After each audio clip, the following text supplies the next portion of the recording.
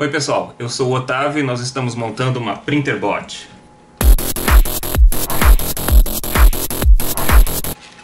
No passo de hoje, passo 19, a gente vai instalar este bichinho aqui. Isso aqui eu chamei de sonda do auto leveling, mas o outro nome disso aqui é sensor de indução.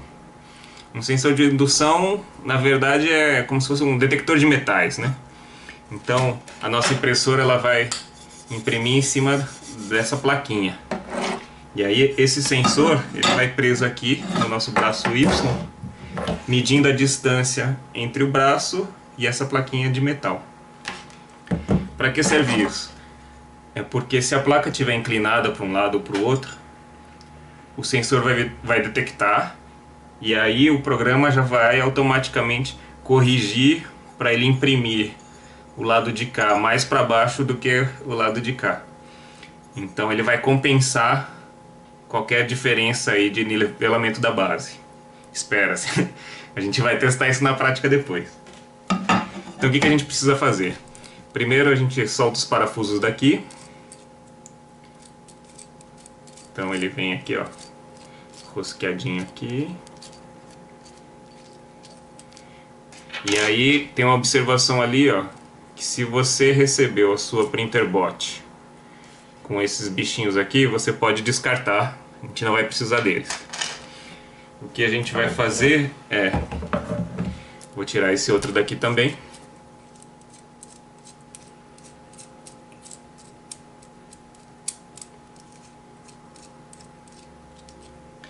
E aí a gente vai passar ele por aqui.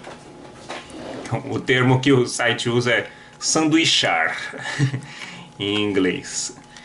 É, e aí, ó, eu vou fazer assim. Vou pegar aqui, vou passar a primeira rosquinha aqui,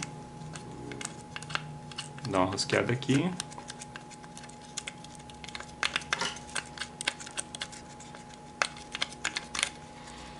E aí vou descer a peça, ó, o sensor, né?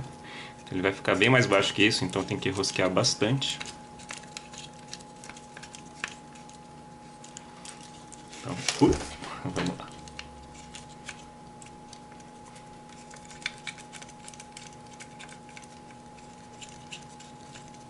Estou fazendo aqui é isso aqui, ó. Tô rosqueando a porquinha aqui. Para ganhar espaço ali na frente para colocar a porquinha da frente. Então é mais ou menos aqui.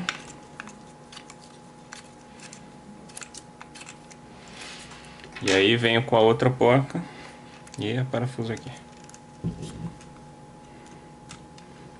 Eu não vi ali na página nenhuma orientação do tipo, ah, deixe tantos centímetros para frente ou tantos para fora. Tô fazendo aqui de olho E aí depois a gente ajusta se for o caso. Então vou prender, vou prender só com a mão aqui. E aí, ó, por enquanto é isso, então. Tô com a minha sonda aqui. E aí, logo logo, quando a impressora tiver um corpo, o que ela vai fazer é vir aqui, medir, tum, ver a distância, ver a distância, ver a distância, ver a distância. E aí recalcula o projeto que a gente está imprimindo para imprimir certinho, compensando qualquer desnivelamento disso aqui. Beleza? Então vamos continuar. Valeu, galera.